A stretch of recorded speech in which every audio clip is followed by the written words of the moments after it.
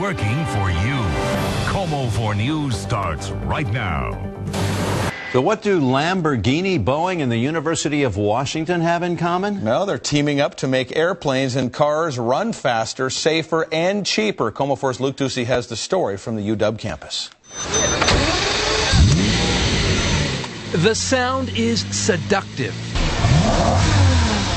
And it means big bucks for UW. Lamborghini is donating a million dollars to the school to make their cars lighter, faster, and safer. What this lab can do is help them um, achieve that.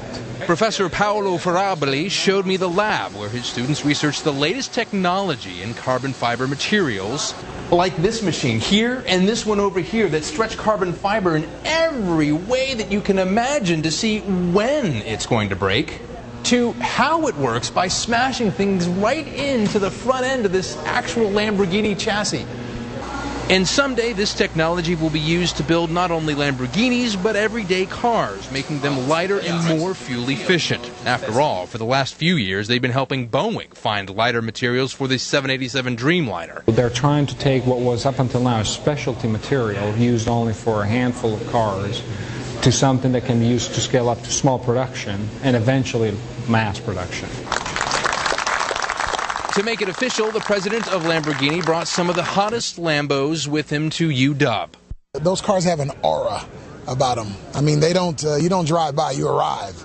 And uh, I could care less. If mine got 50 miles to the gallon, more power to me. Then I put a green sticker on it and keep it pushing.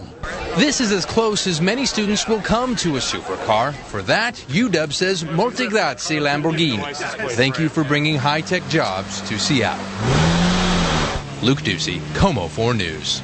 Some nice looking machines. The new lab will be completely up and running in the next few months. And if you were wondering just how much one of those Lamborghinis cost, they start at right around $400,000. Delays with the 747 8 freighter are forcing Boeing to record a one